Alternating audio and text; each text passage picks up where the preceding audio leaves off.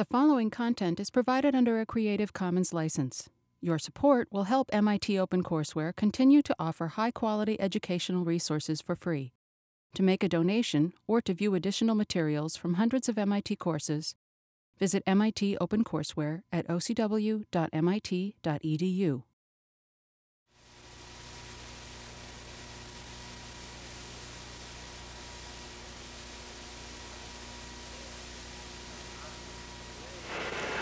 Hi. Today, we begin our study of integral calculus, which had its roots back in ancient Greece, roughly 600 BC, and began with an investigation of the study of area. In a certain manner of speaking, today's lecture could be called Calculus Revisited, Revisited, in the sense that integral calculus can be studied quite apart from the fact that differential calculus was ever invented. We'll see later in this block of material that there is a wondrous relationship between integral and differential calculus, but perhaps the best proof that integral calculus can be studied independently of differential calculus lies in the fact that the ancient Greek was doing integral calculus in 600 BC, whereas differential calculus did not begin until about 1680 AD with Sir Isaac Newton. Well, at any rate then, what we'll call today's lecture is simply two-dimensional area. In other words, this is how the subject began with studying the amount of space in plane regions, two-dimensional area, as opposed to, say, as we'll talk about later, three-dimensional area, which is really a fancy word for volume, etc. But enough about that for the time being. Two-dimensional area, or calculus revisited, revisited. And to see what's happening over here, the study of area was the forerunner of integral calculus as we now know it. It began in ancient Greece, roughly 600 BC. The branch of calculus that we've been studying up until now in our course, differential calculus, did not begin until 1680 AD. Notice then the interesting juxtaposition in time. In other words, pedagogically, one seems to study differential calculus before integral calculus. Chronologically, integral calculus preceded differential calculus by more than 2,000 years. Now, this is a rather beautiful study. It's one of the most aesthetic parts of elementary mathematics, namely the simplicity with which the Greek was able to tackle the sophisticated problem of finding areas in general. He started with three basically simple properties of area, so simple that most of us are willing to accept them almost intuitively. We'll call these the axioms for area, and simply stated they were the following. One, that the area of a rectangle is the base times the height. Two, if one region is contained within another, the, the area of the contained region is less than or equal to, in other words, can be no greater than that of the containing region. Roughly speaking, the smaller the region, the smaller its area. And finally, written slightly more formally here, the old high school axiom for plane geometry that the area of the whole equals the sum of the areas of the parts, that if a region R is subdivided into a union of mutually exclusive pieces, then the area of the entire region is equal to the sum of the areas of the constituent parts. And with just these three axioms, the ancient Greek invented a technique for finding areas that today is still known by its original name, the method of exhaustion. And here, exhaustion does not refer to the fact that we get tired using the system, even though, as we shall soon see, it's quite intricate. It refers to the fact that we take the region whose area we want to find and exhaust the space by squeezing it between regions which are made up of rectangles. Stated more precisely, given a region R, and I'll define this more precisely later, we squeeze it between two networks of rectangles. The idea being what? That we know what the area of a rectangle is, and consequently, by the fact that the area of the whole equals the sum of the areas of the parts, if we have a rectangular network, knowing how to find the area of each rectangle, we know how to find the area of the rectangular network. Now, rather than to wax on like this philosophically, let's tackle a specific problem. In fact, give or take a little bit, this is specifically the problem that Archimedes dealt with in finding the area of parabolic segments way back, as I say, in the 300 to 600 BC era. As an example, consider the following. We wish to determine the area of the region R, A sub R, where the region R is that region which is bounded above by the curve y equals x squared, below by the x-axis, on the left by the y-axis, and on the right by the line x equals 1. In other words, this region in here. Now, here's the way we put the squeeze on. And we'll start this quite gradually. The first thing that we observe is that if we draw a line parallel to the x-axis through the point 1 comma 1, the highest point of our region here, we construct a rectangle which contains our region R. And since R is contained in the rectangle, the area of the region R must be less than the area of the rectangle. But notice that this particular rectangle that we've just constructed has its base equal to 1, its height equal to 1. Therefore, by our first axiom, its area is 1 times 1, or 1. Also, since intuitively area is a positive thing, we see just from this quick diagram that whatever the area of the region is, we now have it bounded between 0 and 1. We have an upper bound, we have a lower bound. We have this thing caught, okay? Now, there's still a lot of space between 0 and 1. The method of exhaustion refines this idea. Namely, what we do next is we say, look at, instead of just drawing one big rectangle like this, why don't we partition the base of our region R into two equal parts? In other words, let's locate the point 1 half, which of course is midway between 0 and 1. Now what I can do is I can circumscribe two rectangles, one of which is the rectangle whose height corresponds to the x-coordinate equaling 1 half. That means the y-coordinate is 1 fourth. And the second rectangle, the one whose x-coordinate, the x-coordinate of the height is 1, and since y equals x squared, the height is also 1. You see, notice that by picking a region which is a curve which is always rising, the lowest point of each region is the point that's furthest to the left, and the highest point of each region is the point that's furthest to the right. And keeping this in mind, you see, by making rectangles corresponding to the points furthest to the right in each interval, I get a rectangle which contains the portion of the region R that I'm talking about. In other words, if I look at this rectangular network, my region R is contained inside that. Consequently, its area is less than the area of the rectangular network. Now, what is the area of this rectangular network? Well, the big rectangle has its base equal to a half and its height equal to 1, so its area is a half. The small rectangle has its base equal to a half and its height equal to a quarter. Since its area is the base times the height, its area is one-eighth. One-eighth plus a half is 5 eighths. In other words, the area of the rectangular network which contains R is 5 eighths. Consequently, the area of the region R must be less than 5 eighths.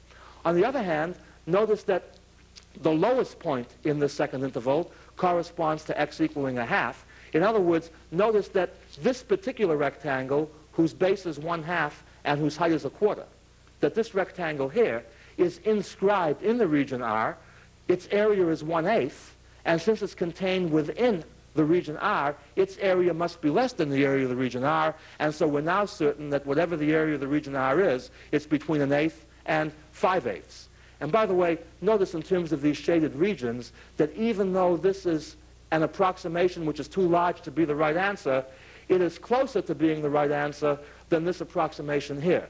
In other words, notice that the difference between the overestimate here and the overestimate here is this amount in here.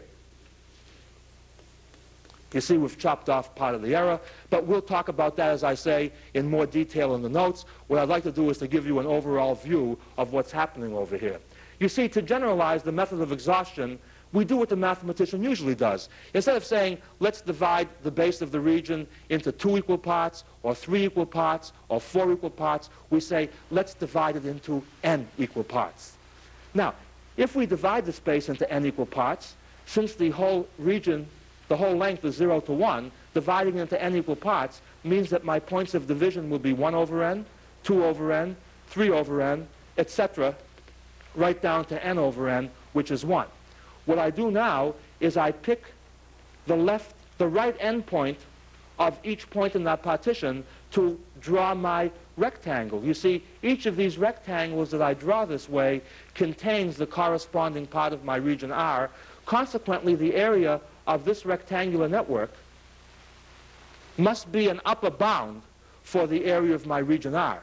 Now, because it's going to be an upper bound, and because it depends on what the value of n is, I will denote that upper bound by u sub n.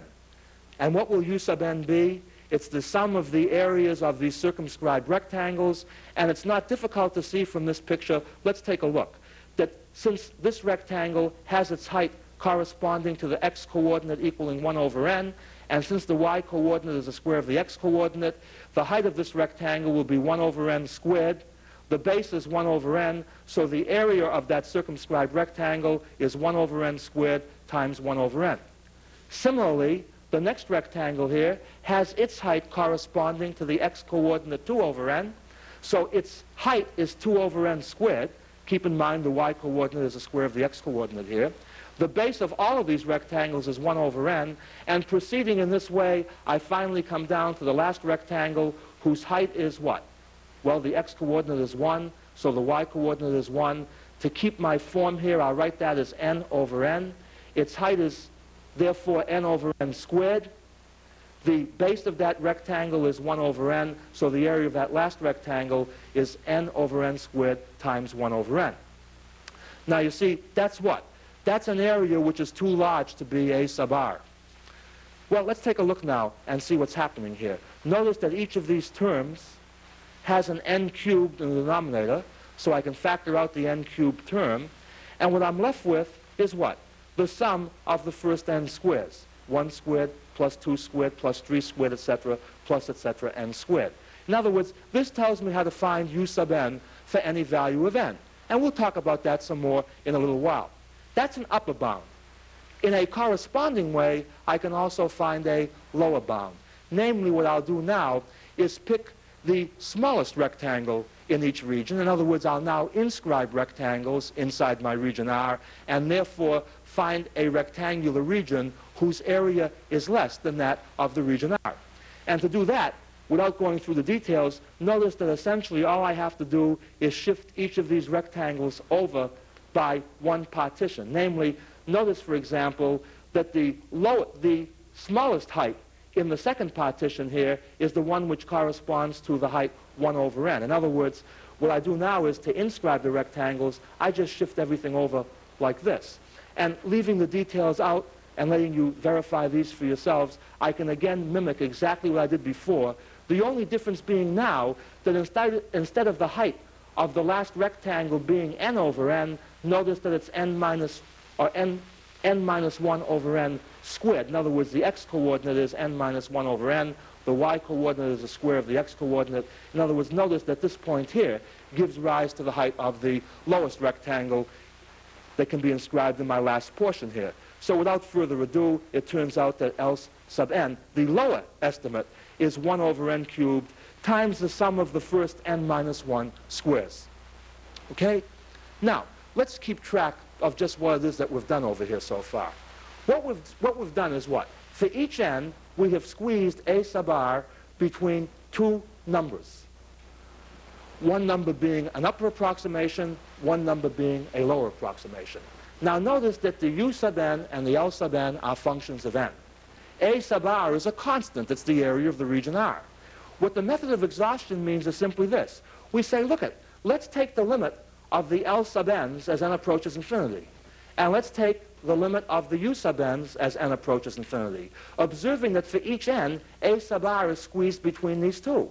Consequently, since A sub r is squeezed between these two for each n, it must be squeezed between these two when we go to the limit. In other words, whatever A sub r is, it must be between these two limits. Now, here's the key step. It turns out, at least in this particular problem, that the limit of L sub n as n goes to infinity is the same as the limit of U sub n as n goes to infinity. And the best way to see that without becoming too fancy at this stage of the game is to observe that the for a given n, the difference between u sub n and l sub n is just 1 over n. And again, I'll just indicate to you from this diagram how we can see that. Notice that back here, the way we went from U sub n to L sub n was we just pushed over this whole network by one unit.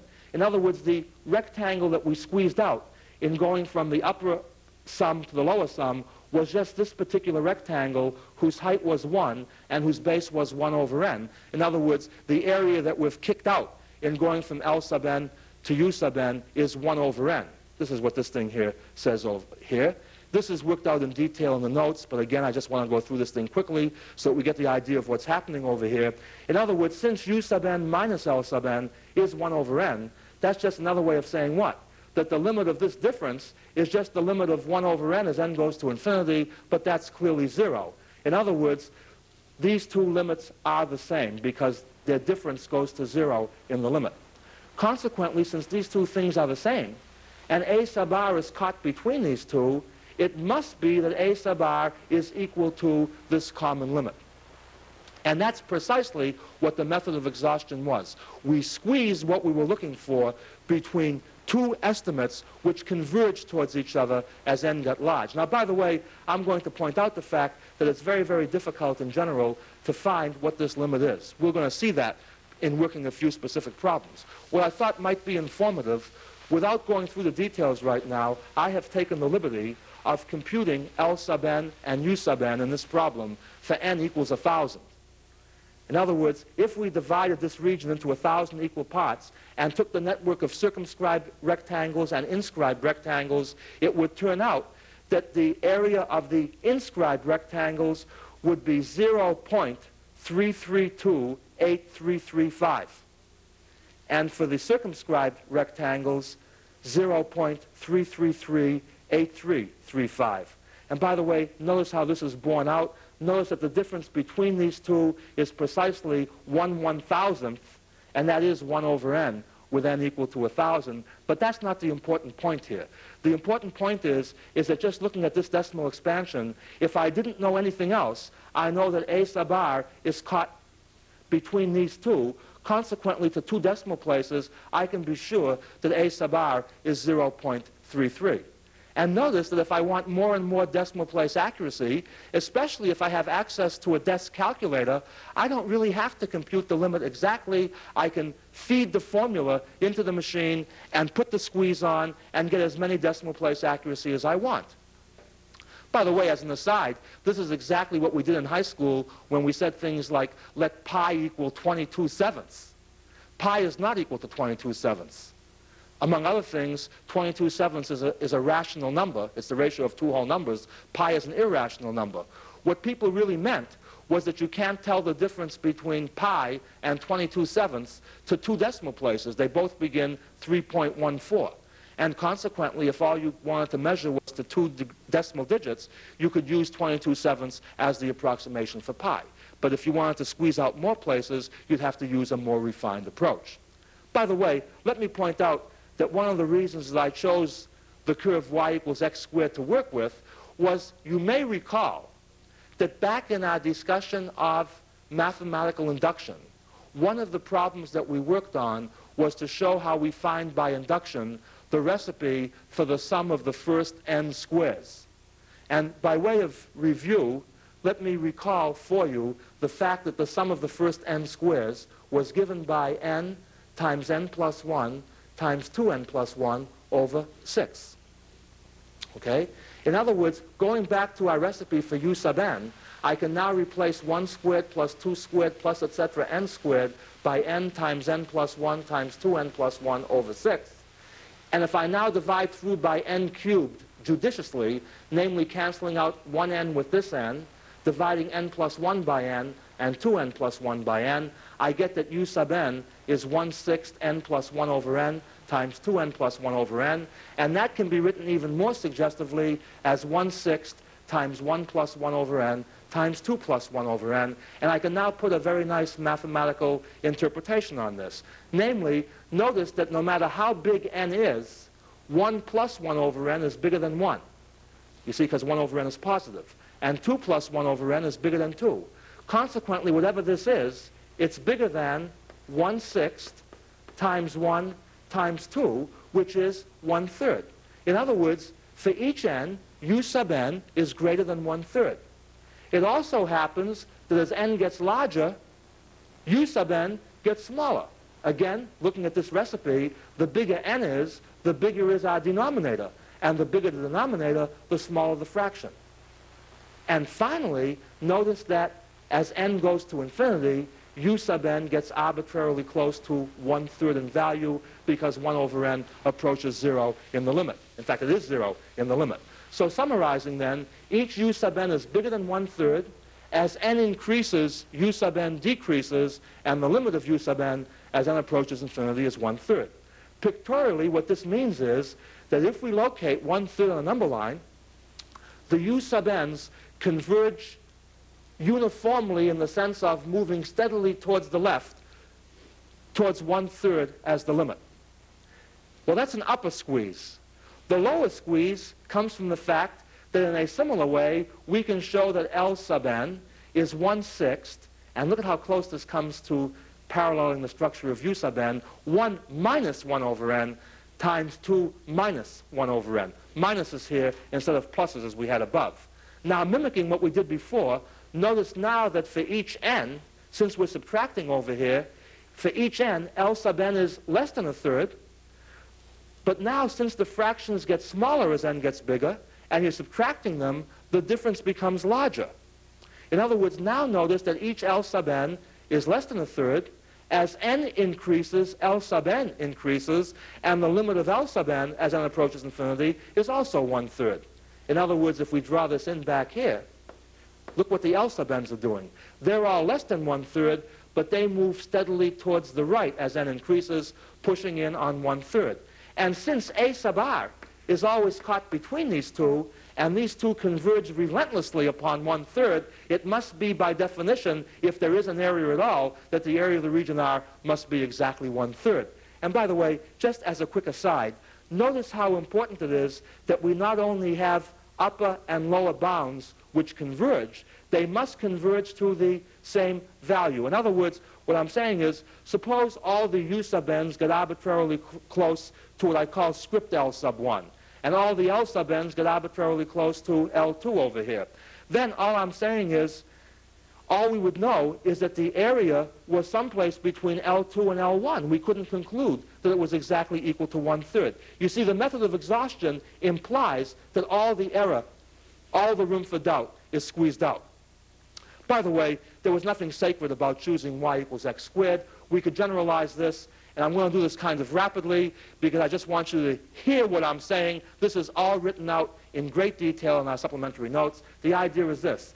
Let f be any positive continuous function on AB and non-decreasing. The non-decreasing part is just for the convenience of being able to locate the high and low points of each partition point conveniently, partition AB into n equal parts, calling the first partition point x sub 0, the last partition point x sub n, and the points in between x1 up to x n minus 1. In other words, we partition this closed interval into n equal parts. And what we can now do is what? Pick the lowest point in each region, the highest point in each region to form a rectangle. We can form u sub n and L sub n, and you see it's just what? For, for L sub n, you just pick this height, which is f of x sub 0, f of a. The height, the base is delta x. You just add these all up until you get to your last inscribed partition point. That's x sub n minus 1. Okay? U sub n is the same thing, only now your first rectangle has its height corresponding to x equals x1. Consequently, the height is f of x1. The base is delta x, where in each of these, delta x is just what? This total length, which is b minus a, divided into n equal parts. And to review the so-called sigma notation that uh, we have in our course, so in the section in the textbook, and we'll have exercises on this to make sure that you are familiar with this notation. The shortcut notation for writing this sum is given by this we add up f of x sub k times delta x as the subscript k is allowed to vary from 1 to n. And here we form the same sub sum, only now the subscript k varies from 0 to n minus 1. At any rate, the observations are this, that u sub n and L sub n converge to the same limit. In fact, this isn't too hard to show. If you just algebraically subtract L sub n from u sub n, notice that the only terms that won't cancel are the last term here. See, f of x sub n times delta x has no counterpart here because this ends with the subscript n minus 1. Similarly, there is no zero subscript in u sub n, so this term won't cancel. To make a long story short, if we just subtract L sub n from U sub n, that difference will be f of x sub n times delta x minus f of x sub 0 times delta x. See, that's just this difference over here. Delta x is b minus a over n. x sub n was called b. x sub 0 was called a. In other words, the difference between u sub n and L sub n is just f of b minus f of a times b minus a over n. And the important thing to observe is that a, b, f of a, and f of b are fixed constants. The only thing that depends on n is this denominator. Consequently, as n goes to infinity, since the rest of this thing is a constant, the whole term goes to zero. In other words, the difference between un and ln goes to zero in the limit. That means that the limit of u sub n as n approaches infinity equals the limit of u L sub n as n approaches infinity. A sub r is always caught between L sub n and U sub n by this very construction. Consequently, what this means is that the area of the region R must equal this common limit. Okay? Now, by the way, this looks very hard. And it is difficult. In fact, in general, these limits are very hard to find. The point that I thought would be interesting to mention at this stage of the game is that if all we want is an estimate for the area under the curve, there are faster and better ways of doing this. You see, the beauty of this technique here is that it's a technique for exhausting the space completely. We find exact areas this way. Let me give you a for instance here. Namely, let me explain to you what we mean by trapezoidal approximations. Let's take the same region, y equals x squared. And now we'll divide it into two parts here. And what we'll do is we'll replace the, the arc of the curve by the straight line segment, the chord, that joins two points here. In other words, using the accented chalk here to illustrate this, what I'm going to do is instead of finding the area of the region R, I'm going to find the area of the region which has the top of R replaced by these two line segments. All I want you to observe is that this first region here is a triangle whose height is one-fourth and whose base is a half. Consequently, its area being one-half the base times the height is one-sixteenth. The second region here is a trapezoid whose bases are one and one-fourth and whose height is a half. And since the area of a trapezoid is half the sum of the bases times the height, we get that the area of this trapezoid is 5 sixteenths. Therefore, the area of the triangle plus the trapezoid is 6 sixteenths or 3 eighths, which is 0.375. Recall that one-third we've just seen was the exact answer, and notice how close this approximation is to the exact answer, even with just two subdivisions over here. In fact, sparing you the details, if you now divide the base here into four equal parts, thus forming your trapezoidal approximations corresponding to what? Altitudes of 1 16th, 1 4th, 9 16ths, and 1, and adding up the areas of all these trapezoids. By the way, this is a bit unfortunate. This is a triangle, but we can view a triangle as being a degenerate trapezoid, meaning the height here just happens to be zero at this particular point. But let's not worry about that. Let's just get the idea of what the trapezoidal approximation idea means. We find the area of these four trapezoids, and we use that as an approximation for the area under the curve. By the way, just coming back here for a moment, notice that because this curve is always holding water, the chord will always lie above the arc, and consequently, not only do we get an approximation using trapezoids this way that's reasonably close, but we also know by the geometry here that our approximation must be too large to be the right answer. In other words, we're going to get an over-approximation, but watch how close we come.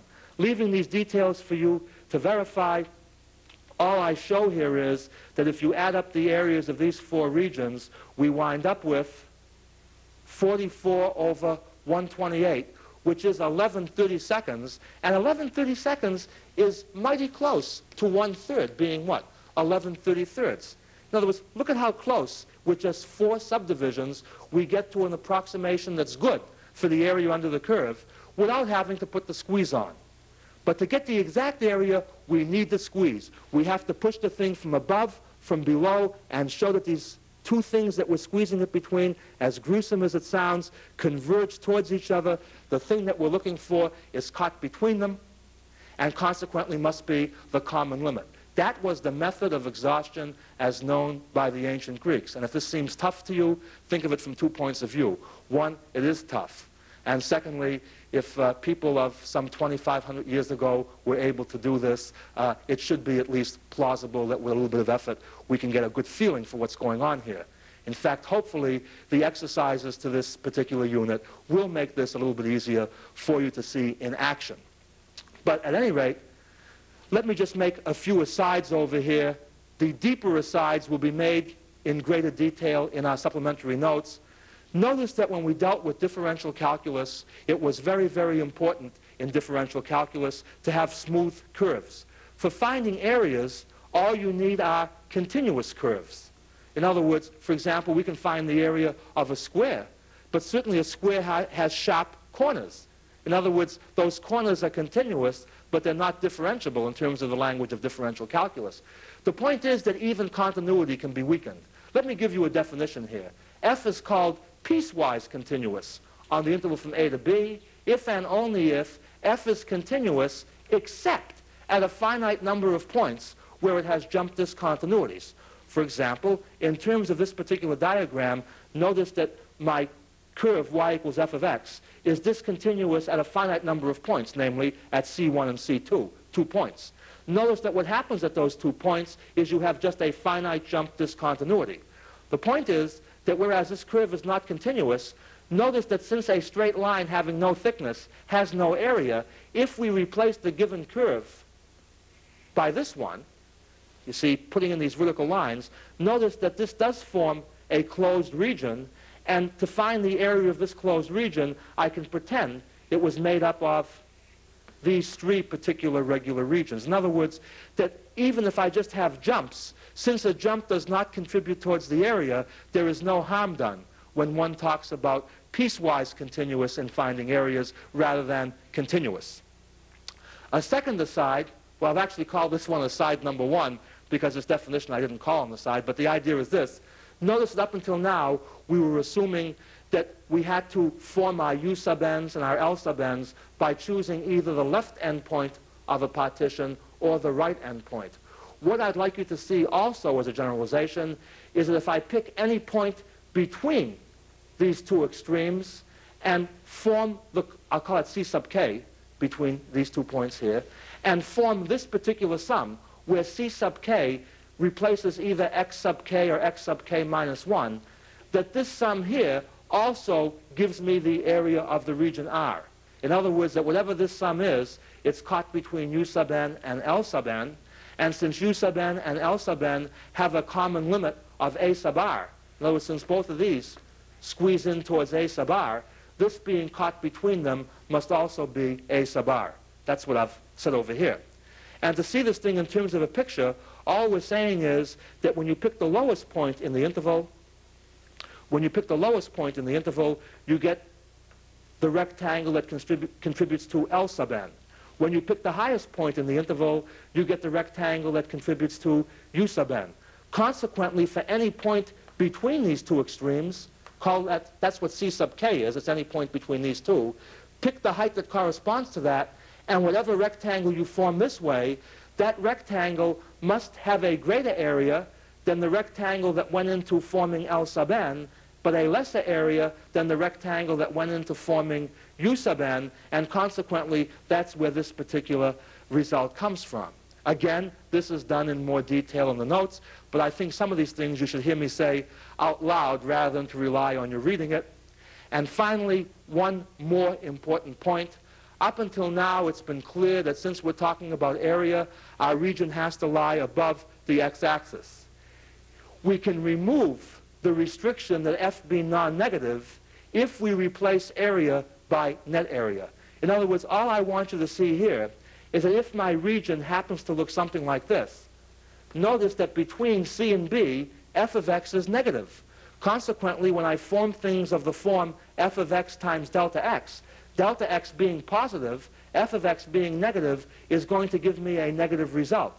In other words, algebraically, if I form my summation, this portion in here will give me a positive result, this portion in here will give me a negative result. Consequently, working algebraically, what I will find is not the true area, but the positive minus this amount here. In other words, what I'll find is the net area. And again, this will all be worked out in the notes. In addition, there'll be other refinements made in the notes, such as that these partitions don't have to be into equal parts or things like this. The important point from today's lecture is this. Observe that this entire study of area is done independently of differential calculus.